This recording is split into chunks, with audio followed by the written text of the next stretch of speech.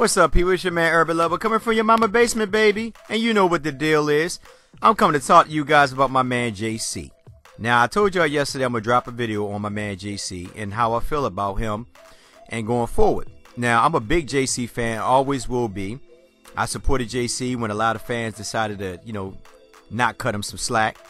I also like my man Larry Nance. Now, these two are my probably my best two Laker players on the team.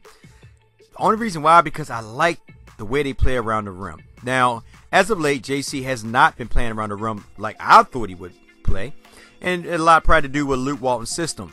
Not too sure. I don't really know Luke Walton's system. I just know of it. It's not like I'm actually on the floor to actually read the script, you know, or the chalkboard to see what the draw of the plays are. So I'm only going by according to what I research and what I know. So, as always, I'm gonna ask you guys a question, my Laker family. Now, I was just looking at Laker Nation, and you know, JC was on there doing an interview. He said, you know, he really don't care if he come off the bench, you know, long as the team get the W. And this is the reason why I love JC. The dude is so humble, and so is Larry Nance. These two dudes are humble. They don't really stay too too much into the spotlight. You know, they ask a couple questions and they get on about their business. You know, it's, it's all about work, and that's what I like about them you know, both these guys. And I'm not saying the other guys on the team don't work. It's just that I respect these two guys. That's all. I mean, I, I love the Lakers, period. You know, and you should already know that when I was actually supporting Nick Young, when everybody threw him under the bus, you know, I, I kept on supporting Nick Young.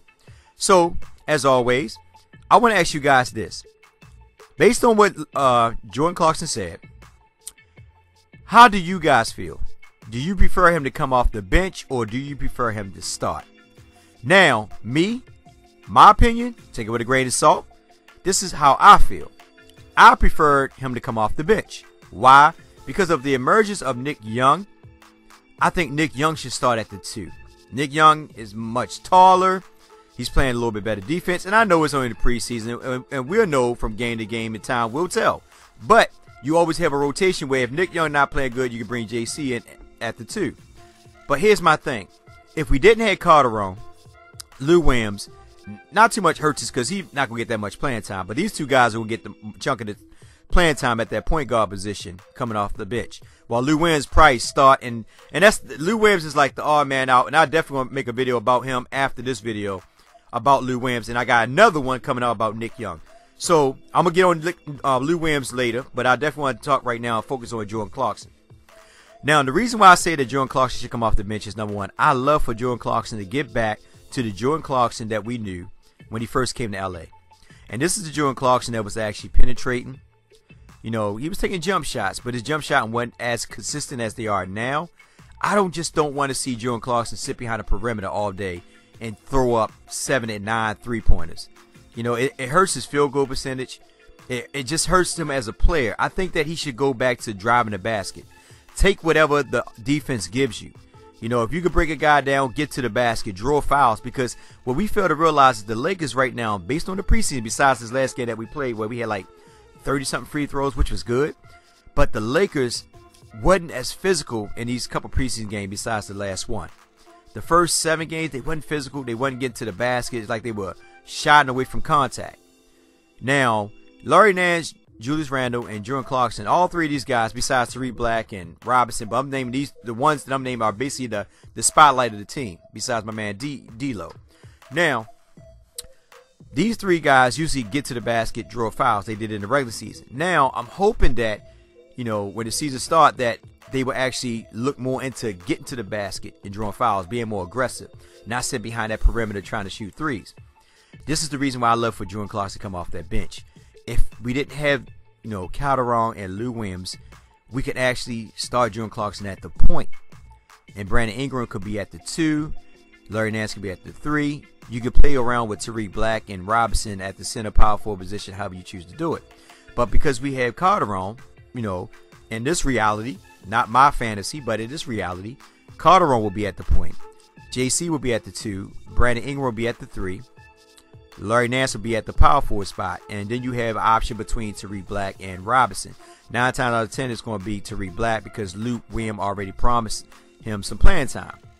Now, if Robinson outplayed Tarik Black, that's a different story, and that's another video that I'm gonna make also within itself. Now, with that being said, with that second unit coming off the bench and going into what JC said, if the if the if the starting unit is playing good, the second unit comes in, you know, give them a little breather and all that, and they come right in and do the exact same thing. You're not letting your opponent let up. You're not giving him any let up. Based on the fact that, okay, you know, most teams be like, all right, well, the starting five gone, we can rest a little bit because they bring their bench in. A lot of teams don't have a strong bench, so we have a chance to come back. Here with the Lakers, we have a starting five and a bench. So now when the starters go to the bench, the, the second unit comes in and do the exact same thing that the starting five did. No let up. So the opponents be like, God damn, we ain't got no let up. You know, we thought we would get a break, but you got these guys coming in. They're more fast paced. They're, they're they flushing. They run into the basket. They, they you know, they, they got an up tempo style of play. I'm going according to the preseason when I say in the preseason game. When they came on the floor, they were actually they were actually fast. They were just fast. Had an up tempo style of play. They were just moving. They were just gone. And I love it. And they were getting to the basket more. Even when Huertas is, you know, doing a lot of uh you know, finesse in his passing and all that. You know, Calderon, you know, getting on the ball, even hitting shots. So I like to see JC come off the bench because uh, when he come off the bench, it'll be him and Brandon Ingram that will be the the focus point coming off that bench with Larry Nance. But Larry Nance is more of a utility man. He's going to play off of Brandon Ingram and Jordan Clarkson. So it gives them power on the front and on the back. There's no let up. So the opponents coming in like, damn, we can't let up. Now I'm not saying that he cannot play good with D'Angelo Russell, D'Angelo Russell starting. I'm not saying that. But the problem is we got Lou Williams. We got to do something with Lou Williams. Right now he's 6'1". They're gonna probably have him and D'Angelo starting. D'Angelo probably gonna play on defense. D'Angelo gonna play the, the uh, shooting guard, and Lou Williams gonna play the point. Lou Williams is right now. He he's a good offensive player. He just doesn't have no defense, and it hurts because the perimeter is the biggest problem right now in our interior defense when it comes to defense. So we gotta fix that. That's why I would love to see Nick Young actually start at the two with D'Angelo. Lou Williams, I like to see him get traded. Yeah, just it's too many point guards. I mean, I hate to say it, but I'm being honest with you. We got Calderon, Huertas, Lou Williams. Lou Williams is actually a point guard. He's a point guard, but in a shooting guard's Well, he's a shooting guard in a point guard's body. It just don't work. If he played defense, then you wouldn't really notice his six one, you know, frame. But because he, he don't play defense, it hurts the team. But I definitely like to see JC come off the bench, either as a point or at the two. But because when he came off the bench in the preseason, he was on fire. He was doing a lot more. But when he was starting, he was struggling. And I'm not saying that because of D'Angelo Russell. Maybe because of the Luke Walton system, he's trying to find it. But I think when he come off the bench, he's more of the focal point along with Brandon Ingram. Whereas the starters is Julius Randle and D'Angelo Russell. So it makes more of a combo set. And it's good for our team to have a, a starting squad and the second unit. No let up.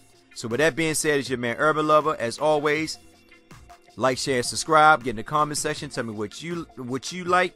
Do you prefer him to start or would you prefer him to come off the bench? And until next time, as always, definitely be safe out there. I love you guys and take care.